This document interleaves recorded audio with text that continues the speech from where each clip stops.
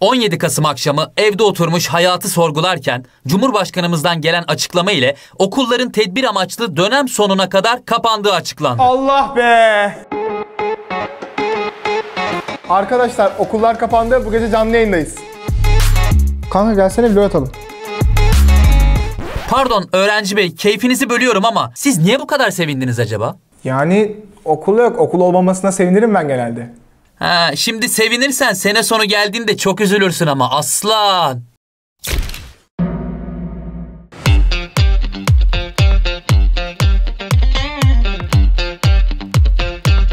Vaka sayılarının artış gösterdiği bu günlerde okulların dönem sonuna kadar kapalı olması sağlığımız açısından güzel bir karar. Zaten online eğitim sürecine de yabancı değiliz. Fakat alınan her karar sonrası üzerine bir rehavet çökmesine izin vermemen gerekiyor. Yüz yüze eğitimin devam etmemesi bir dezavantaj gibi olsa da bunu avantaja çevirmek senin elinde.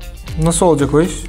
Halledering. Üzme kendini. Birincisi evde geçirdiğin saatleri güzel bir şekilde planla. Okula gitmediğin için çanta hazırlama, saç baş yapma ya da yola çıkma gibi süreler cebine kar kalacak. Bu süre içerisinde çok sayıda soru çözebilir ya da hocanın verdiği ödevleri tamamlayabilirsin. 2. Canlı dersleri de yüz yüze eğitim gibi ciddiye alarak çalışmalısın.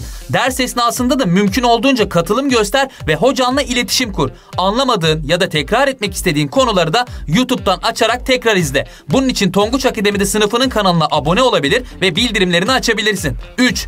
Dilimizde tüy bitti. Sosyal medya ve oyunlara kendini kaptırma. Hocam Among Us'ta oynanır ama şimdi. Kapışırız her türlü o ayrı ama günde en fazla 45 dakika. Fazlası hem ders çalışmanı engeller hem de bağımlılığa yol açabilir. Unutma telefon kullanımını yönetmek tamamıyla senin elinde. Eğer bu bahsettiğim 3 kuralı uygularsan okulların kapanması senin için dezavantaj olmaktan çıkıp avantaja dönüşür. Peki sen ne düşünüyorsun? Okulların kapanması avantaj mı yoksa dezavantaj mı? Bu konu hakkındaki fikirlerini ve video isteklerini yorumlara yazabilirsin. Like atmayı da unutma tamam mı? Sıradaki videoda görüşmek dileğiyle. Hoşça kal.